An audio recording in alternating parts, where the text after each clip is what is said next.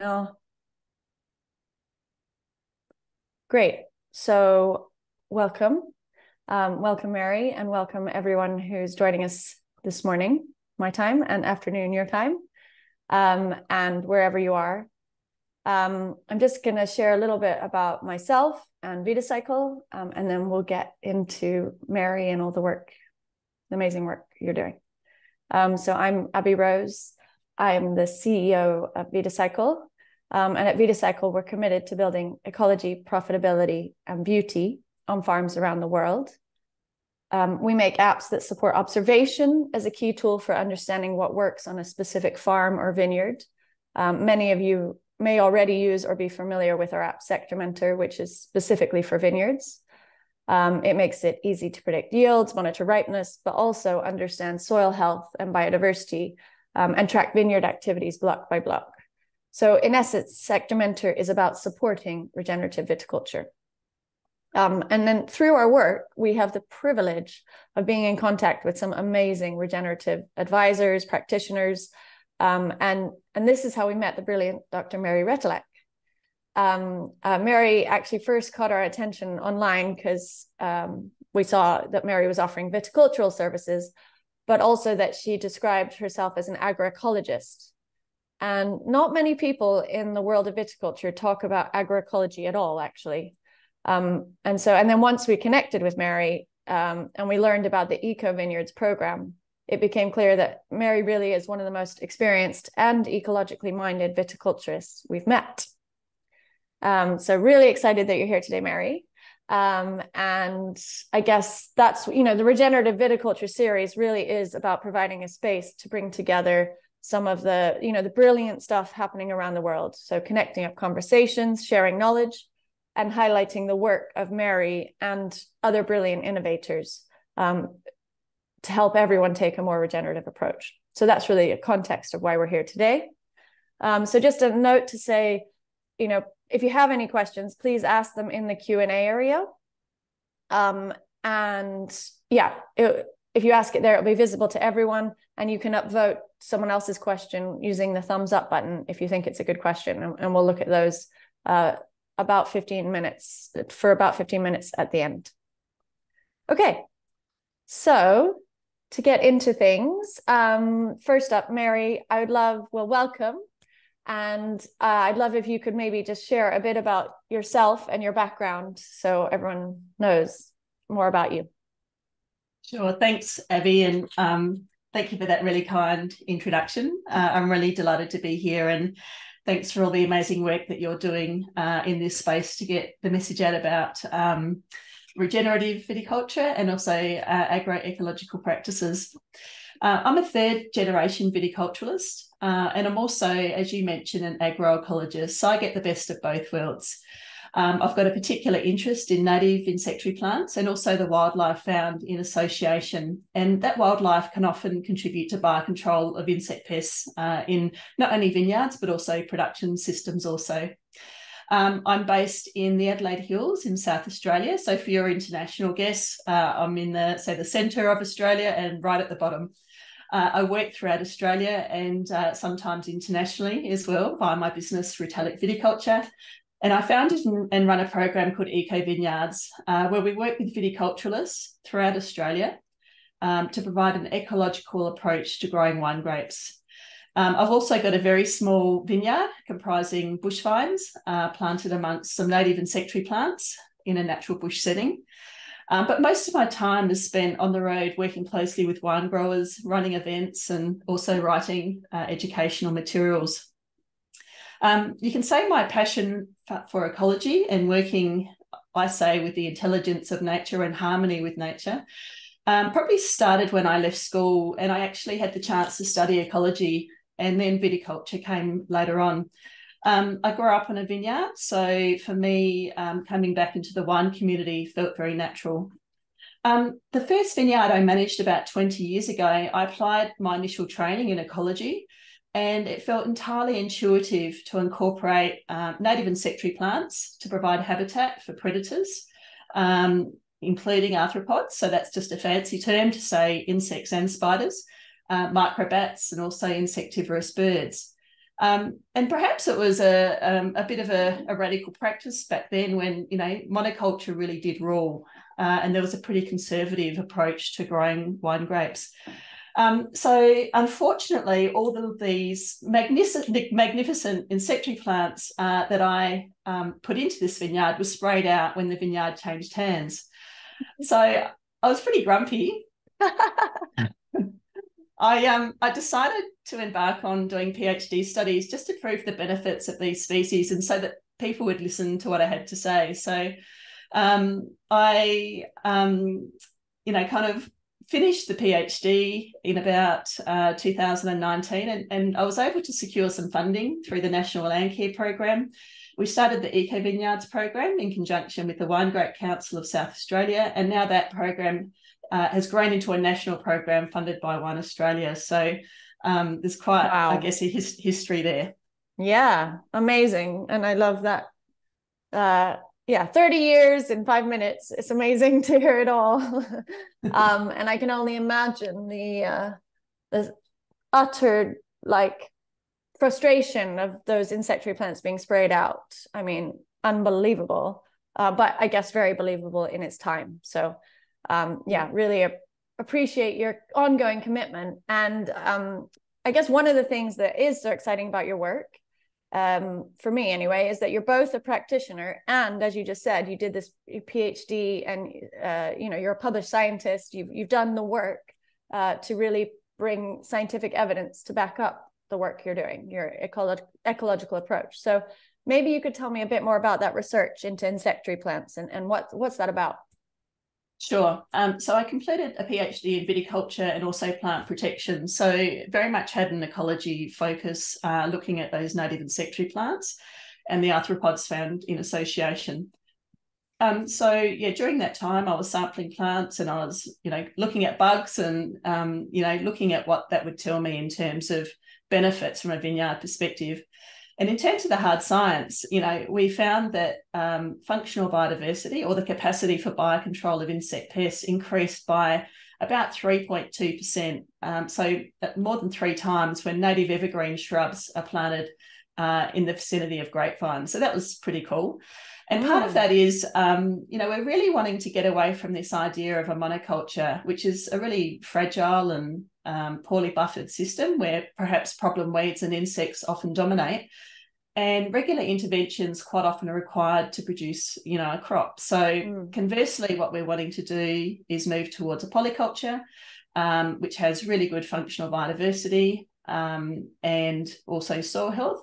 The system has greater resilience. It can rebound more quickly after disruption, including, say, extreme weather events and it's able to self-regulate with this you know less intervention um, mm. and potentially growers can save you know time and resources. So um, biodiversity is obviously the variety of plants and animal life. Each species has a niche in the ecosystem. And um, so we're not so worried about what the system looks like but how well it functions. Got it. Yeah. And so i loved when we were talking a bit about your research you told me um, kind of some of the relationships between species and, and the importance of some of those insectary plants in order to provide uh, the protection for the plants. And you gave the example of the wallaby grass, brown lacewings, and wolf spiders working together. Uh, maybe mm, you could just share a bit more about that example. Yeah, um, perhaps I should also explain what an insectary plant is. So we, uh, yeah, we good talk... idea. we talk about uh, an acronym called SNAP, which stands for uh, shelter, nectar, uh, alternative prey, and also pollen. So they're the types of attributes that we're looking for. And what I do is I um, select plants that are native to an area. Um, they were here obviously before we modified the landscape, and um, they will t- tend to fit into what we call a, a pre-European plant community, which you might find interesting from you know your European perspective.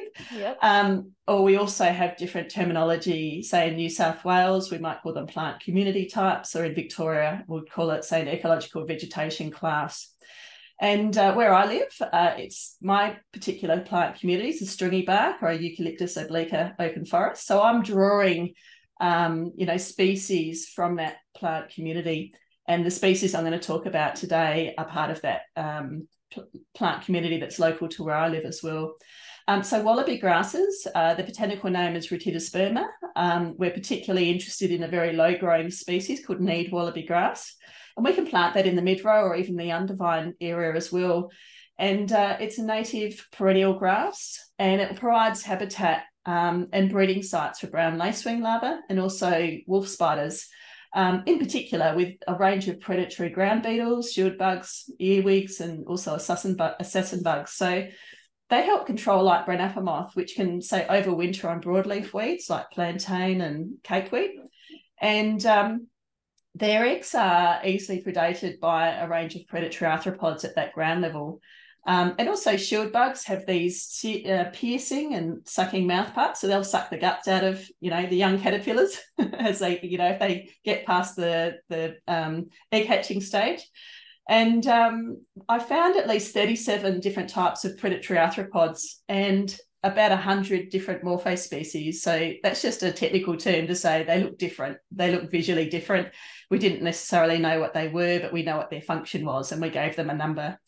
Um, so, you know, we're interested in, you know, which species are predators, which are, um, say, pest species. And also then we have a category just called other, and that includes detritivores that help break down organic matter, or they might provide prey for predators they're just passing through.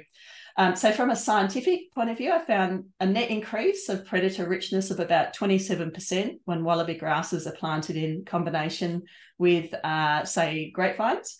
And it just shows this amazing richness of diversity that we can get at ground level. Mm. Um, and I also, I also looked at um, shrubs, so green evergreen shrubs like uh, sweet Bursaria, which is Bursaria spinosa, um, also common name of blackthorn in New South Wales or Christmas bush in South Australia, and also another species called prickly tea tree, which is Leptospermum continentale. And they, again, um, uh, provide fantastic floral benefits for an extended period um, from late winter right through until probably late summer if you plant them concurrently. And um, they provide habitat for a diversity again of uh, predatory arthropods. I found at least 65 species. So there's a lot going on. And importantly, uh, fantastic habitat for parasitic wasps. And they provide mm. biocontrol of, say, in uh, grapevine scale mm-hmm. uh, mealybugs, light brown apple moth, assassin bugs, damsel bugs, green and brown lacewings. Yeah, there was heaps in there. Wow. So kind of in essence, in my head, what I'm hearing, or an insectary plant is really like um, it's kind of the infrastructure for this insect life, this insect ecosystem that's operating in the vineyard um, that we so often forget about. Um, and and that's how we often end up in a a monocultural situation or a, a, an extreme disease, high disease, high pest pressure situation is when we don't have this infrastructure, this insectary plant in- infrastructure. Okay. That's right. Yeah, we're looking for a diversity of plants that overlap in flowering period. So there's not a what we call a resource bottleneck like you might get in the northern hemisphere, where you have a lot of say deciduous plants and they all leave their lose their leaves at the same time. That's mm. one benefit we have in the southern hemisphere is many of our native plants are evergreen. And um, yeah, it's also a fantastic way for us to showcase a unique Australia, uh, Aussie flora. Um, it not only looks great, but it's functional and it helps us stand out in a crowded international marketplace. Um, so mm. yeah, there's lots of benefits to these plants. Mm. Yeah, and I think what's interesting also for me is that because my focus has been a lot on soil health you know i've always thought about diversity because it had diverse root structures and it was diverse microbial life below ground but actually i hadn't even been considering this insect you know this multi-layered insect based benefit above ground so that's really yeah thanks for sharing and amazing to hear about that world um yeah. i guess yeah one thing uh, just quickly um you know, I, I've heard you make a distinction between insectary plants versus pollinator plants versus native plants. Um, obviously, sometimes there's overlap, but maybe could you just uh, clear up that distinction? What is the difference? And then also, you know, what's the most important thing for people to understand about those in order to work with them in their location? Because, uh, yeah. Sure. Uh, they're essentially the same, but what we're looking for is the, the quality of those resources that those plants provide, whether it's uh, nectar and ne- or pollen. So nectar is required to give. It's like a sugar hit. Can you imagine having a hoverfly and all the energy required to stay up in the air? You know, it needs to have energy, but they also need to have access to pollen, which provides fecundity of uh, like how many eggs that they can produce and how healthy uh, they are. And when we talk about pollinators, I think, you know, we kind of just naturally think about butterflies and bees. But of course, there's lots of species like birds, bats, flies, uh, moths, wasps, uh, small mammals that can all act as pollinators. And I'm particularly interested in the range of benefits insectary plants can provide, um, you know, in terms of a broad diversity of uh, the arthropods, the insects and the spiders, and uh, the functional benefits that we get not only from pollination perspective, not so we of um, not so critical in grapevines because they're mm-hmm. Hermaphrodites and quite often wind or self-pollinated. Um, but yeah, there's a much broader discussion for us to have. If we're talking about the desirable attributes of, say, insectary plants, we're looking at their attractiveness to predators. Um, we want a real diversity of, um, you know, flowering times, as I mentioned earlier, but flower shapes as well. Um, some flowers, um, you know, you've got to have insects need to have very long mouth parts to be able to tap into the goodies. Um, we want to have an early and long or overlapping flowering period uh, at key times throughout the growing season, especially coinciding in the lead up to when grapevines flower, mm. Um, just at the very end of spring, early summer. Um, those species we want to be able to outcompete weeds, but have low potential to be a weed, uh, have low establishment costs, um, be naturally adapted to the site, have low ongoing maintenance, and um, also have low potential to host pest species. So there's a lot to think about out there, and um, you know we're we're interested in different height strata as well. Um, when we look at plant communities, we're interested in the tall trees, but mostly we're interested in the shrubs because they're going to be most appropriate around a vineyard say adjacent to a strainer post or uh, bolstering a shelter belt or ground covers. And they can be uh, a whole range of different species. Uh, grasses, forbs, which are flowering plants, low growing woody plants. It might be strap leaf plants, uh, which are really tough, um, bulbs, lilies, climbing plants. So um, diversity is the key. And um, what we're always looking for is to cover bare soil. So 100% functional ground cover and active roots 100% of the time where possible. And um, we know that the plants that we select um, that we plant above ground will have an impact, like you mentioned, on the microbes below ground and also earthworms and so forth. So it's all interconnected. Mm. That's the lovely thing about nature and ecology is uh, every species has a place and they're all really important. Mm, totally. Um, having said that, they are all really important, but do you have any favorites? do you have any favorite invertebrates um, in the vineyard and, and, you know, why are they your favorite or why are they important?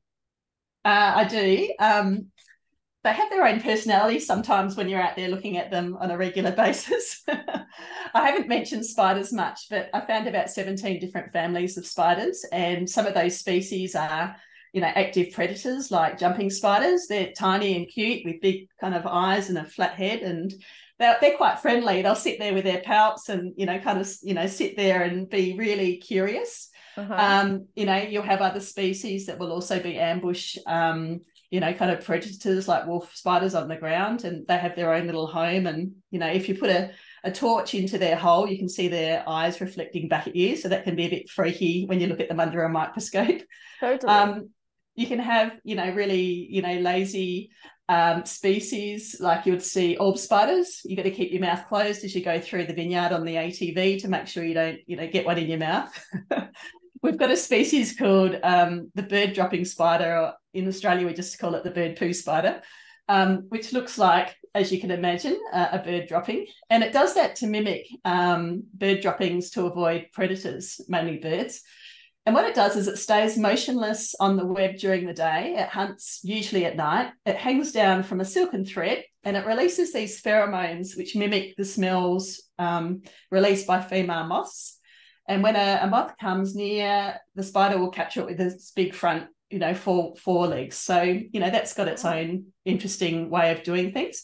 Uh, I love assassin bugs, assassin by name and assassin by nature. So they have this big long mouthpiece. They're um, part of the Hemipterum family, so they have piercing and sucking mouth parts. We call it a stylus or a proboscis. And they're pretty brutal. Well, nature's pretty brutal. Um, a lot of these species will eat each other. They end up um, getting their prey, uh, stabbing it, pumping uh, this saliva that kind of liquefies the guts of the prey and then suck the guts out. So it's pretty brutal. Wow. Yeah. Uh, and great, I couldn't uh, go on without mentioning green lacewings. They're really cool. Uh, they lay their eggs on stalks. Uh, so when they hatch, they're not going to be eaten by their brother or sister. And the silk produced is tougher than that produced by silkworms. Um, and they, the larvae look like little Pac-Man. I don't know if you remember the, the game. Um, we had one when I was young called Pac-Man, you know, with the mouth parts. And um, they'll go through chomping eggs and also soft bodied insects. And they're also called junk bugs. Um, they've got these spines on their backs and they impale the bodies of their prey on their back. So they've got a snack for later. And it's also really um, valuable camouflage as well. So you did ask the question, Abby. yes. wow. A whole world out there. Um, yeah. and I love it. And I love your description of spiders because obviously most people are te- petrified of spiders. So you described them in a very loving way, which really reframed spiders for me. um, um, okay, great. So just moving on. Uh, yeah, okay. So understanding um, clearly understanding different types of plants and vertebrates, you know, and their role in this kind of wider infrastructure, this wider ecosystem is clearly really important. Um, and maybe I was just wondering, do you, from all your experience, do you have some examples of, or maybe one example of where this thinking was applied? Um, and and maybe you could share share that. Sure. Um, we've got an eco grower called Dan Falkenberg, and I met Dan about 10 years ago and started working with him. And he and his father Ian really have helped pioneer the use of native grasses and forbs in Australian vineyards, but also have a they have a really innate understanding of ecology. So they're based in the uh, the Barossa wine region, and they started uh, like a greenfield site about twenty or so years ago, and their um, native plant community is a pepper box or a Eucalyptus odorata woodland, and they also planted a vineyard about the same time. So they started, you know, with nothing there. And what they've been able to subsequently do as those plants have started to grow in the understory is they've um, been able to attract a diversity of lizards, insectary birds, say like grey fantails, willie wagtails, um, superb blue fairy wrens, diamond firetail finches, and even a breeding pair of brown goshawks, which are birds of prey. It's pretty amazing. And they were running the vineyard pretty traditionally. Um, they say about probably 13 or 14 years ago were putting in, in, in an annual triticale cover crop and it was costing them about $615 a hectare. And they also had a problem with some invasive weeds like Salvation Jane, wireweed, evening primrose. And they also had a problem with light brown apple moth uh, in their grenache. So they um, swapped across to a blend of um, four species of wallaby grass, and it costs them about $1,500 a hectare. So it costs more. But they were able to break even by year three. These wallaby grasses are self regenerating perennial grasses. And what they were able to do is break that cycle of intervention, um, reducing fossil fuels. They didn't have to prep the area, um, compact the soil, get it ready for a seed bed every year. And by um, having these wallaby grasses established, they were able to outcompete those weedy species. Uh, they were able to provide habitat for the predatory arthropods. We mentioned the brown lacewings and the wolf spiders before. So that they controlled the light brown apple moth problem. They didn't have to spray with insecticides. And from that point on, they were saving $615 a year, all by changing one practice. And they've been they were able to reset the system for the next de- de- sorry the next decade uh, with ecological principles. So it worked really nicely. Yeah, that's yeah. an amazing example. Um, yeah, thank you for bringing that to life. That was brilliant. Mm. Um, so when we spoke uh, last week sometime you told me that for 30 years you've been waiting for there to be a greater appreciation of ecological practices um, in the way that we grow wine grapes. Um, and i know you mentioned at the beginning that you're you have your own vineyard and and that that's the bush vines with insectary plants planted between them. It's quite a, an experiment. I don't know if you want to say anything about that uh, sure. Um, on my own property, it's very small, but it's big enough to observe these benefits. And I don't have a lot of time. So it's a pretty hands off project. because uh, I'm on the road a fair bit, but it's in like a natural bush block. Uh, there's a upper story of um, these stringy bark. So I've planted about um, a thousand native insectary plants. I thought I might call it an area of outstanding natural beauty, like you have in the UK. I love that term. and uh, I've planted some bush vines. You wouldn't normally plant Chardonnay and Pinot, Pinot Noir as bush vines, but I have. And what I'm going to try and do is manage it um, as naturally as I can using compost tea, flavanol, flavanols, uh, biostimulants, say worm biochar, fish hydrolysate, fulvic humic acid, seaweed, rock dust, so forth. And um, try and increase the health of those vines so we get an increase in leaf Brix. And from what I understand, you can get so if you get a leaf Brix of about 12 or higher, um, it's reported that plants are less likely to be uh, susceptible to insect attack and probably less issue with issues with diseases. So it's called the trophobiosis um, theory, um, which is a pest starves on a healthy healthy plant. Um, so I like breaking the rules and finding new solutions. So I'm giving it a go on my own block. Mm. No, it sounds great.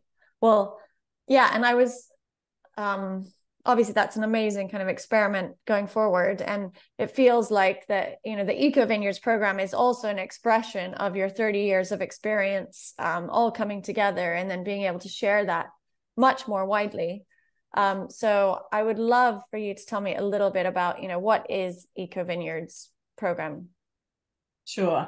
Um, over the last four years, we've been running uh, the Eco Vineyards program in South Australia. And we've set up uh, about 45 demonstration sites, and we've just taken the program national in the last 12 months with the support of Wine Australia. So we've had just overwhelming support from wine growers um, who are really keen, you know, eager to learn.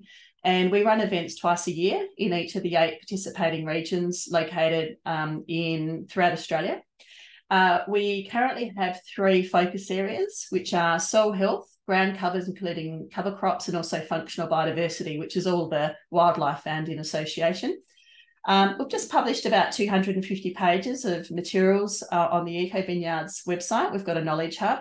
Um, things uh, like how to do a biodiversity action plan, different native plant species lists for the different um, region, wine regions we're working in, and also soil health indicators for Australian vineyards, a booklet uh, poster and a great Aussie earthworms count poster. And also, we've got a competition open at the moment. Um, so there's lots of resources there. Uh, we're working on some best practice management guides um, for each of those three areas. And we'll then, once we've got that peer reviewed research captured as a living document, we'll then pull out lots of fact sheets uh, and case studies from growers. Um, we're in the process of setting up 30 new demonstration sites. Um, and growers are really trialing uh, an interesting diversity of different things that haven't been done before, which is great. It's following a participatory action learning, um, which means that we're not waiting for peer reviewed research. We're setting up demonstration sites, seeing what works very quickly. And it's like a binary, yeah, the plant's alive or dead. And then we scale up from there. So we get information, you know, very quickly. Eco growers receive um, a whole lot of complementary support from our regional on ground coordinators and also um, microbat boxes. Microbats are pretty awesome. They're tiny, but they eat up to half their body weight in insects every night and they love eating moths. Uh, raptor perches, uh, again, to try and provide supplementary habitat to encourage them into the vineyards. Um, so, yeah, it's a great time to um, be working um, on uh, with a focus around environmental stewardship. Um, and we embrace all growers, however they're currently growing. Um, and what we do is we will then um, provide an ecological focus. So what we try and do is remove any um, barriers to uptake. We want to accelerate practice change. And um, we're working closely with growers to really empower them to find these answers for themselves. And that creates a huge amount of goodwill. Um, we approach the sharing of knowledge with kindness and generosity, and we find that's reciprocated. So it's uh, reciprocity in action, which is lovely. Um, and yeah, we're really focused on um, things like um, there's a great you know, kind of quote from Dr. Carl Huffaker at the University of California. Uh, when we kill off the natural enemies of a pest, we inherit their work. So we're wanting to look after those natural enemies. We've got thousands, millions of little workers that can do that work for us um, practically for free. And we also know that um, we need a, th- a, minimum of 30% of original vegetation cover to stop species loss. So we're trying to um, really focus on ecological restoration with those functional benefits. Amazing. Um, and yeah, I mean, one of the things that really struck me also is just um, obviously you've trialed it in one location and then now you've been able to bring it to, uh, you know, across Australia um, and bringing, yeah, I guess it's just an amazing amount of knowledge and information and learning and and sharing that so widely. And then and then i guess learning from each other as well. It just seems like a really exciting way to approach this um, sharing of information and knowledge. So i'm ever impressed with eco vineyards um, and really thank you for for yeah showing us all what's possible i guess um, and maybe we can just dig into i know you mentioned the three pillars there um, but maybe we could just dig into those. And I don't know if you have any like specific case studies or uh, examples of, of what it looks like implementing those three pillars or how people are responding to them. I'm um, sure. If we look at, say, um, ground covers, so we use ground covers instead of cover crops. So we want to get away from thinking about, uh, say, annual cover cropping um, move that's got a place too, but then move perhaps to more perennial cropping. Uh, the next stage on from that is multi-species mixes, um, and then perhaps looking to those species that are also naturally adapted. Um, so, you know, there's a lot to kind of unpack there. And there's some really nice research internationally where we know if we have a diversity of different families and a number of species within those families, we're going to get exponential benefits. Um, and we've also tried some of the species that might be really familiar to uh, you in Europe, like buckwheat, Phacelia, and alyssum and they're really recognised for their superior provisioning services, but they're not always suited to our dry Aussie conditions. So, you know, we take the information that's out there and then we consider, you know, whether it's going to be, you know, really appropriate for us. And we also know that, um, you know, some of those species uh, can actually also harbour some of these pest species that we don't want to, you know, kind of have dominate. So um, it's important that we don't have these monocultures. The diversity is really the key. Um, but Adelaide Uni, work uh, by Dr. Tom Lyons, Tim, Tim Cavagnaro, Joe Marks, and um, Chris Penfold, they've been doing some long term studies um, looking at the undervine area, and we've now got results over a five year period. Um, and you know they've been looking at a range of species like Medic and rye works really well. Leguminous mixes with annual grasses works really well. Um, they've found that there can be some challenges with, say, cocksfoot and fescue. They can reduce some of the vine vigor and they've looked at wallaby grasses as well. So they've um, looked at the capacity of those plants to sequester carbon. They've found that you can get up to 23% more soil organic uh, carbon um, than a traditional, say, herbicide practice. And you can say more than double um, the microbial activity in those areas. And uh, Geoff Gurr from Charles Sturt Universities um, just looked at a range of different species, both commercial uh, cover crops and also native species in the Undervine area. And they found, um, you know, uh, creeping boobialla, which is Myoporum parvifolium, um, provided really strong benefits to support populations of Trichogramma wasps. So we're starting to get um, some really nice knowledge around some of these native species. And we're working with a whole range of uh, service providers to put in um, multi-species mixes of native grasses and forbs. So um, natives, um, um, native seeds in, sorry, Seeding Natives in South Australia has a 17 species blend. Uh, we're working with um, native seeds in Victoria, who are working on grasses and forbs as well. And we're also working with um, some of our existing eco growers to plant, uh, say, woody plants in the Undervine area.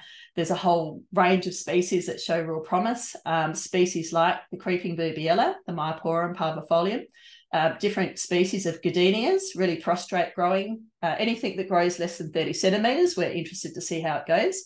Uh, fan flowers, um, creeping saltbush, muntries, and New Holland daisies, which are Vittadinia species, look fabulous as well.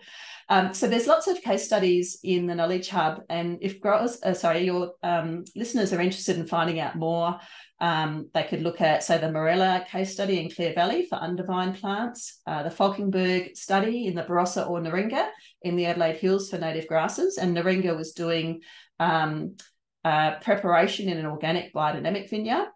And the grindstone vineyard in Wrattonbully was using hydromulch, uh, hydroseeding, which is liquid mulch, to be able to spray seed in the undervine area. So we're keen to see uh, what technology is out there and how we can apply it to um, some of our trickier questions where we don't have uh, ready-made solutions or equipment, say that will get the seed in the undervine area as readily as we might like. So yeah, so because earlier you did mention that like 100% ground cover is the is one of the focuses of the eco vineyards um, mm. approach. And so yeah so you're talking there about both intervine but also uh, you know undervine that you would literally have uh, cover the whole everywhere in the vineyard would be a living root at all times ideally Absolutely. And we're also looking at how we can establish vineyards uh, differently by having a full ground cover of native grasses and forbs there and then planting into them as well. So, again, we don't have to keep chasing our tails trying to do weed control, keep a bare soil. Nature will always, you know, fill a void. So, we'd like to fill it with something functional um, that's going to work well for us.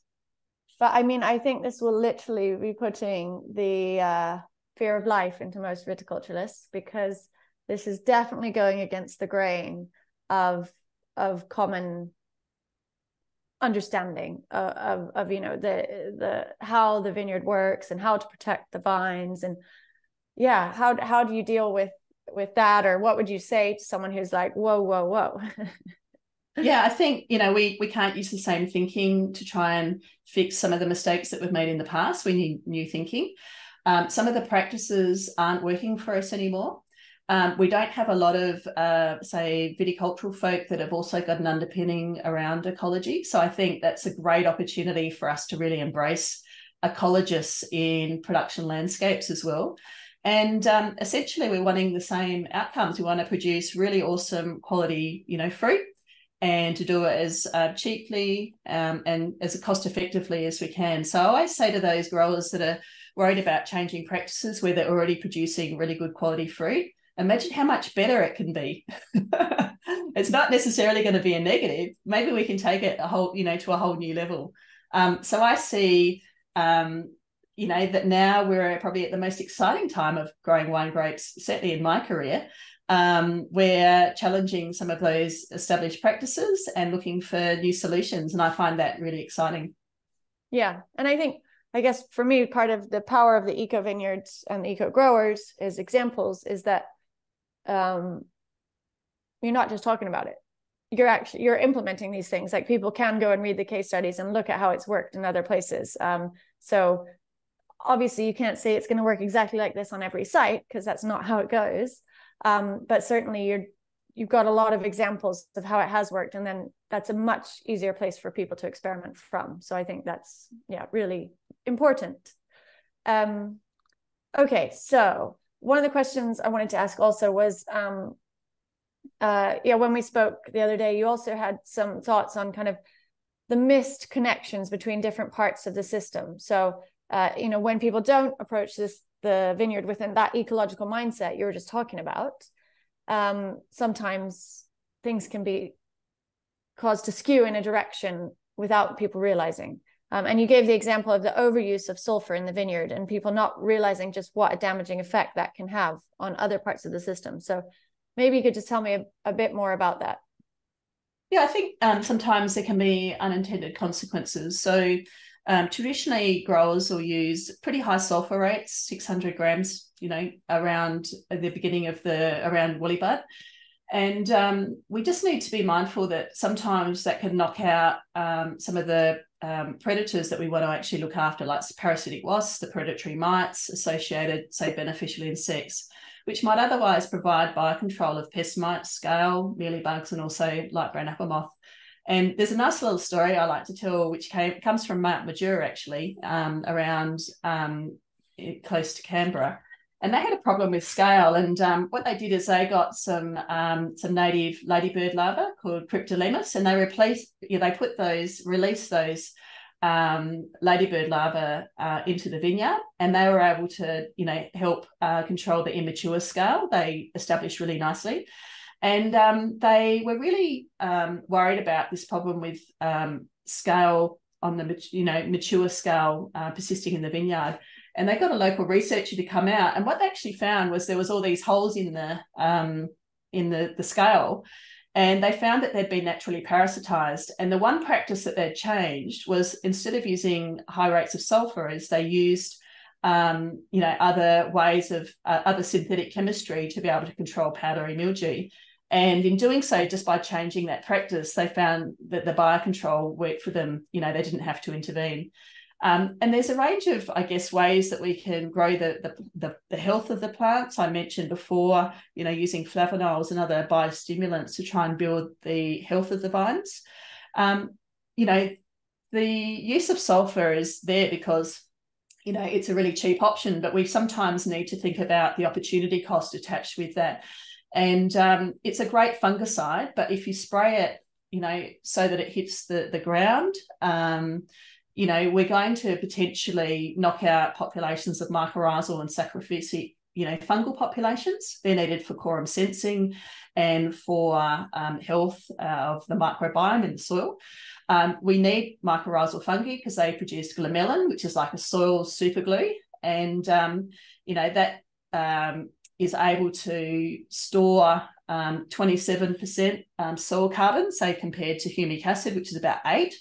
So you know it will increase the soil watering hold uh, uh, the sorry uh, soil organic carbon by you know more than three times.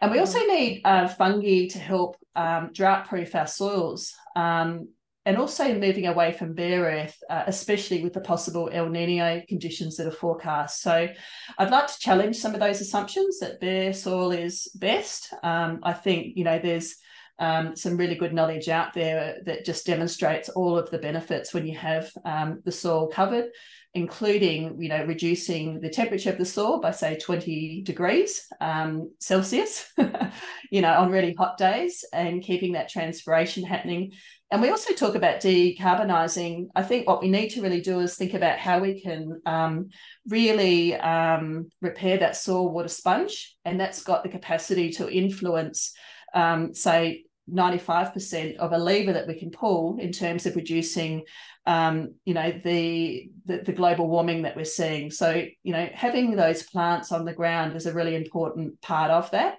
and there's mm-hmm. so many other benefits that also flow from having um, cover on the soil. Mm. Yeah, totally. And just to dive into the sulfur question, because someone uh, we had some questions in advance on this. Um, you know, what does sulfur do to beneficial insects? You talk about it being a fungicide, but what does it do to beneficial insects? And is there like a, a limit, and and you go over the limit, and then you have a more negative effect on insects, or yeah, any sense around that? Yeah, it will um, have a, a, negative impact quite often on the beneficial insects, but also perhaps on the earthworms in the soil and so forth. So we want to try and keep um, the rate um, below 400 grams per 100 litres if possible. And focus on a true IPM approach where um, we're looking at cultural and biocontrol options first, and then chemical control options as a last resort and only as required, rather than at the front end. And just having that holistic approach opening up the canopies um, you know is part of how we can have a more holistic approach to some of these um, you know um, approaches to um, controlling insects and, and diseases. Yeah okay got you great um, okay and then i have um,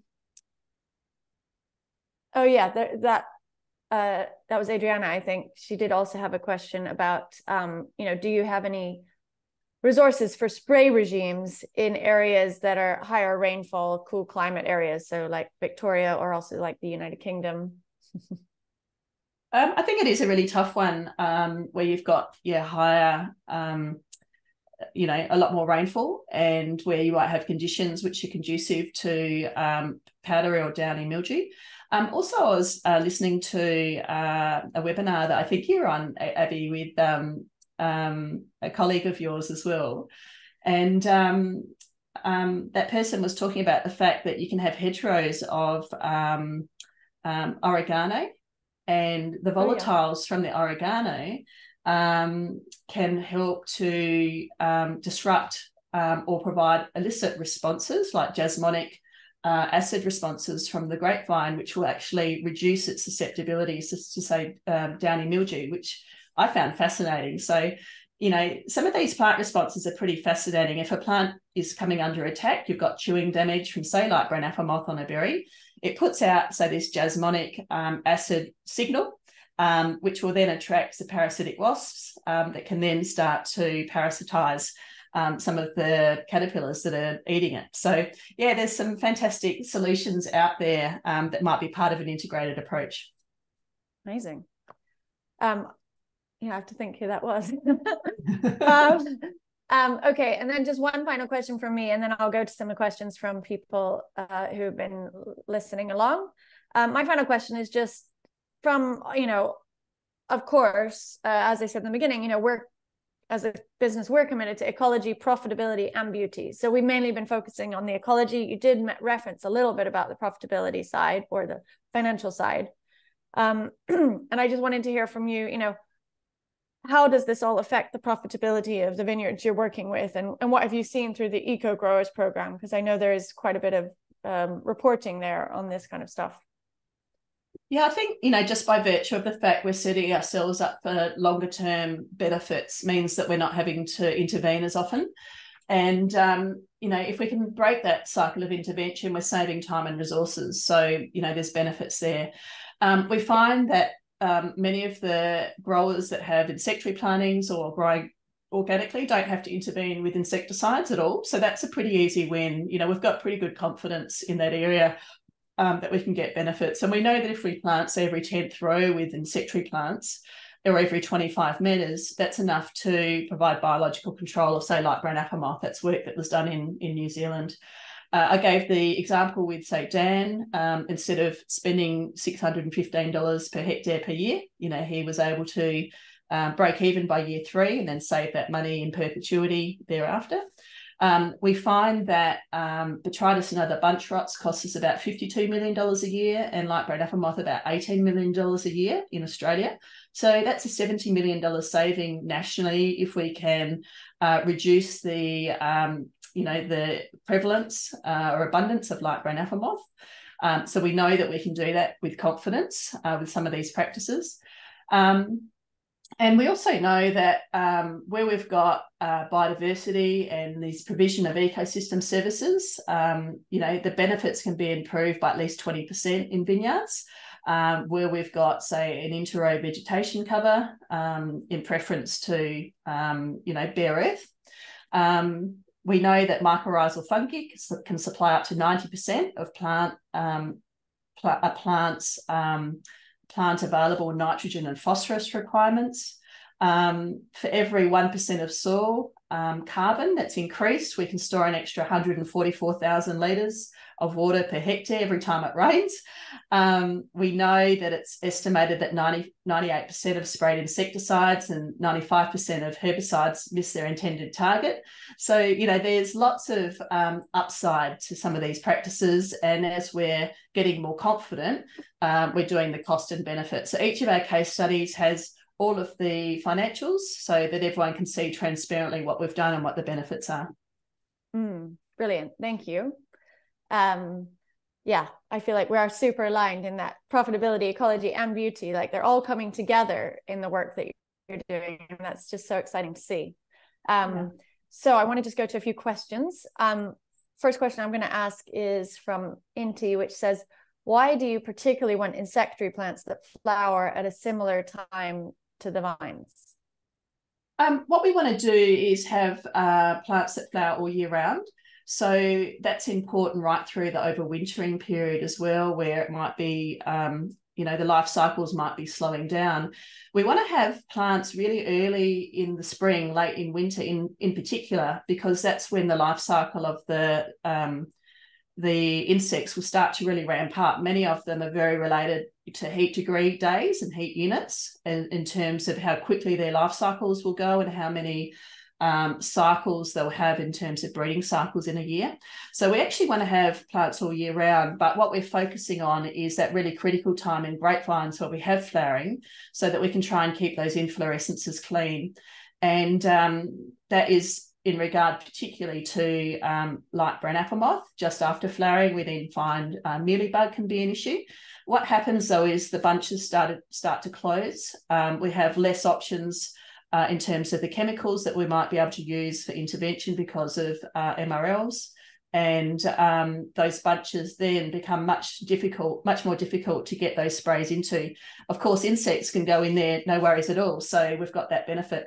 So we are looking for um, a range of species um, that will provide habitat for a range of insects all the way through the year, and um, not just at that that grapevine flowering period, but of course that period from flowering right through to harvest is a really critical time to make sure that we're on the front foot. We've got the populations um, of predatory arthropods high enough so that they can provide that natural biological control and we don't have those outbreaks of some of the pest species uh, that can then cause economic damage. Got it. Thank you. Um, okay, great. And I've got a few questions. David Lowe, um, which says he asked, "Is there a native grape used for wine?" Um, I don't know the answer to that. I don't um, either. I think, I think there are some um, some some native species uh, in Australia, um, not a bit of Vitis vinifera, but um, there might be um, some other, you know, kind of berry species that you could potentially make some wine from, David. I look forward to um, talking with you further about those possibilities. yeah, I mean, that could be very creative. What I could say is um, we do have some native plants that are quite aromatic. So we have one producer, uh, Bremerton Wines in Langhorne Creek, that is using um, some native um, lemongrass as a botanical in um, making gin. mm. Um, so we do have some other nice, you know, synergies which are just naturally occurring. So um, um, yeah, we might have our own eco vineyards gin down the track as well. Perfect.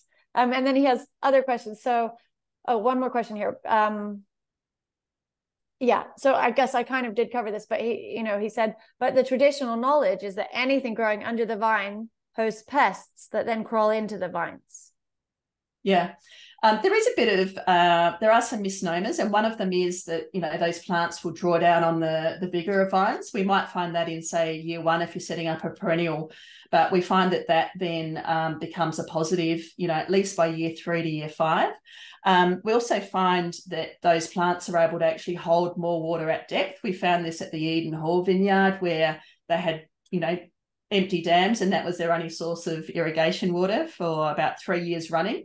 Um, so we're able to kind of, um, you know, broaden out our knowledge and discussion uh, around some of these topics. And yes, I'd say if you have a monoculture of an introduced species, quite often you do get an unwanted uh, wanted pest. Um, if you have um, a diversity of native species, what we find, this is through my work and also Dr. Louis uh, Matter's work, he looked at pollinators, is you get um, a benefit uh, if you're using um, species which are native, say, to Australia, but you get an exponential benefit if you use species which are local to your particular area as well. And if we have that diversity of species, we don't tend to get uh, pests, uh, might be weeds or insects dominating. That's how ecology works. Mm-hmm. So, um, yeah, just again, um, you know, having uh, picking the appropriate species is really important. And again, not going in and just replacing, you know, what you've got with another monoculture is equally as important. Got it. Thank you. Um, okay, and now I've got a question from Charles Lewis um, which says they planted a vineyard in Essex in 2021, and they're interested to find out about natural plant species that would work well in between the vines. Um, is there a good plant species resource for, for the UK like Eco Vineyards? Um, and it'd be great to know what flora and grasses would be good to plant here. Um, um, yeah, perhaps talk to your colleagues, uh, Alistair Nesbitt and Vinescapes. I did a report for them a couple of years ago, which was looking at the Kent Downs area of natural um, beauty. Yeah. and uh, they were interested in this particular question. So I put together quite a, a detailed resources, a literature review, uh, which included um, many of the uh, fauna that you'd found in that local area, as well as the types of species appropriate to the UK that might be appropriate to trial. And of course, you have these amazing natural um, grass, you know, kind of um, wildlife, um, wildflower fields that you have there. Um, and you've actually got fantastic resources to draw on there. You know, you're well equipped to be able to tap into and trial some of these new species in the UK. Mm. Yeah. Um, well, that's an amazing uh, indicate uh, uh, pointing us to a resource because you did mention that once, but I haven't followed up on it. So I need to uh, go and ask Alistair about that resource or the Vinescapes team. Um, it's av- it's available online, so we can okay. Um, we can okay we link. can share it. Okay, we'll share the link after this um, in the follow up email. Um, and yeah, I think it's a great question, Charles. And I'd also like to encourage we need to find the people in the UK doing more of that research as well. Um, and Charles had some more questions down here quickly. Oh, uh, yeah, what what was the recommended limit for spraying sulfur that you mentioned earlier? It was 400 gram per 100 liters. Is that correct? That's yes. correct. Correct. Yep. Okay, great. And then are there any alternatives to sulfur sprays? Um, Charles has heard of spraying whey, um, or he says that apparently lowers the pH level on the leaf, um, makes mildew harder to form. What do you think? Yeah, um, Dr. Peter Crisp uh, did some work about 10 years ago at Temple Bruer uh, Winery in Langhorne Creek looking at uh, milk whey, and um, it uh, worked really well. But of course, you need to put it on pretty regularly. So, you know, that's part of the challenge. Um, also, I've heard that flavanols can work really well just to be able to build the plant health and uh, potentially reduce susceptibility to some of these diseases. Um, I'm not sure that there's peer-reviewed uh, research, um, you know, to support those claims, but certainly there's a lot of growers who anecdotally um, have observed some benefits.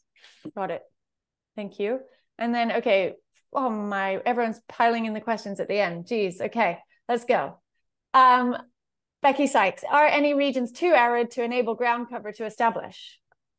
Uh, no, I think uh, we had Dr. Mary Cole speak um, as a part of our initial round of soil health um, uh, events, and uh, she's done a lot of work in the United Arab Emirates, uh, right through Africa, looking at ways to be able to build um, soil um, uh, organic matter and to be able to also vegetate, um, you know, ground covers. So again, you'd go to native species. You know, you'd need to select very carefully, but there's ways and means of being able to overcome some of those challenges, and in fact, to be able to reverse the effects of some of the desertification sometimes it's a cultural change. You know, it does take a leap of faith and it does take um, different thinking to be able to move through what some of those practices, entrenched practices, um, have meant to get to that point. Um, but certainly it is possible to make uh, gains where you have very low rainfall of less than 250 or 200 mils, you know, per annum. Okay, great. Um, and then a follow up to the sulfur question from Will Perkins, which is that does potassium bicarbonate have any impacts on insects or arthropods as an alternative to sulfur? Um, I don't know the answer to that. Um, I haven't looked into it, so I'm happy to take that on notice, and um, we might add, add that in uh, when we do the functional biodiversity in our third year of the program. Um, I can add that into one of the uh, questions that we answer. Mm, great, a new experiment. Thanks, Will. Um, okay, final question from Augustus what is the best solution for powdery mildew during fruit, fruit cluster development, in your opinion? Um, I think again that's a tricky one. Um, we know that sulfur works really well. We need to start early with sulfur, and uh, you know if you kind of get to cluster development and you've got a raging powdery issue, it's because it's um, occurred really early in the season. Um, it's not, you know, something that you can really tackle effectively late in the season. So you need to start early and regularly in terms of staying on top of powdery mildew. Mm. Um, and again, just looking at how we can build um, resilience within those vines, open up the canopy, look at the cultural practices. I don't know that I've got any silver bullets, but um, you know, it's a combination of all of those things and understanding, you know, the environmental conditions and the life cycle of the disease. Yeah, and I guess that's the beauty of everything you've been saying is that there is no silver bullet. It is about all of the interactions and, you know, that IPM approach of sometimes you do use some chemistry if you need it, and sometimes you will have to use sulfur. Um, and, but by providing the resilience of this wider uh, ecological uh, interwoven system, um, you're moving away from over reliance on that basically and really reducing the need. And, and that's that's kind of where we're all headed, hopefully. Yeah, always buffering. If you do need to use herbicide, you might be able to add in some, you know, fulvic acid to reduce the the rate. You might get better efficacy, and you're also feeding the microbes at the same time, so they'll bounce bounce back more quickly. Um, so you know, always just looking at the ways that we can, um, yeah, integrate, um, you know, that that ecological approach and um, you know that's sometimes embracing the chemistry where we need to but um, having a safeguard approach there so that we can let that system recover um, quickly wherever possible. Got it. Great. Thank you so much mary. That was brilliant. Um, as everyone i'm sure who's watching can tell uh, you have a wealth of knowledge and we've only just touched the tip of that. Um, so definitely encourage everyone to go to the eco vineyards website. I think from my from what i've seen even if you know I'm not farming in an Australian landscape, but to me, the the wealth of information there, it's it's kind of just helping us to understand the experiments that are going on, and and I do think we everyone can learn from them, um, and then you know apply it in our own location So yeah, that's an amazing resource. Thank you for bringing that together, and I encourage everyone to go check it out. We will send links in the follow up email here, um, and also for those who are closer to home for you, um, there's lots of uh, events coming up in the spring um, and post vintage each year. So please do go check those out and feel, you know, attend events if you can. I won't be coming sadly, but um, and just I guess thank you so much, Mary. Thank you for all your sharing. Um, for anyone who's listening who is interested to hear more about what we do and Sectormentor, you can send us a direct message in the chat or email info at vidacycle.com. Um, and yeah, we'll send a follow up email early next week, or actually maybe this week, um, with a video of the recording and links to where you can find out more about what Mary's doing. Um, and if you enjoyed this, head to our website and you can check out the previous regenerative viticulture series in the articles and case study section. So, yeah, thank you so much, everyone, for joining. Um, really appreciate it. And uh, thank you so much, Mary, for all Thank you, Abby. And we'd love to um, really welcome any of your listeners to the EcoVineyards community.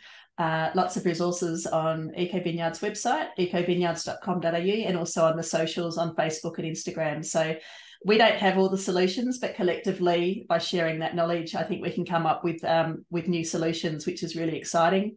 And we are really dedicated to sharing those insights in real time so that everyone benefits.